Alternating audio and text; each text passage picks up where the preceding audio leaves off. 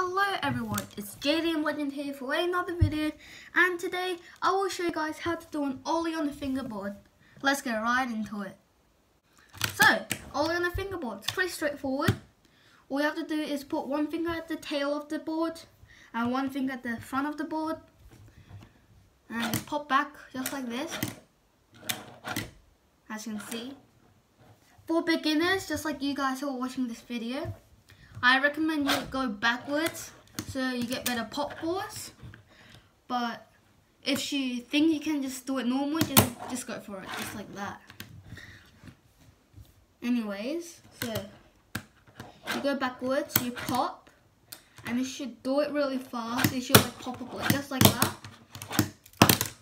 But since we're missing a step, you're just gonna go like that, and you have no idea what to do. So for the final step, all you have to do is pop. And then, oh, after you pop, just like that, you bring your board and finger forward just like that.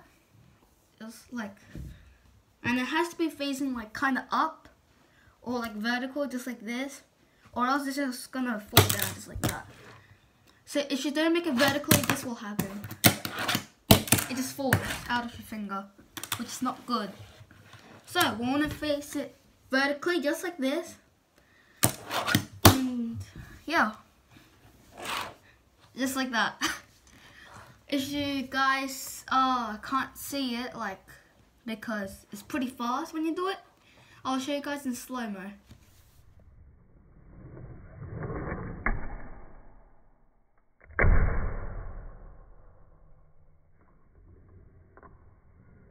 As you guys just in that slow motion, uh, it looks pretty insane when you do it, but it's pretty easy.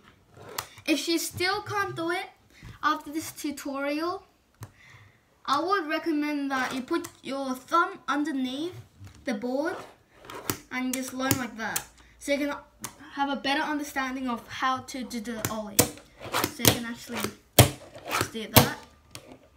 And after you do that for a while, you can just do it with no thumb, just like that